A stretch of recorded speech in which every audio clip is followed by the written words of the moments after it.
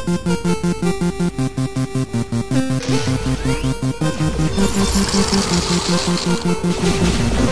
you.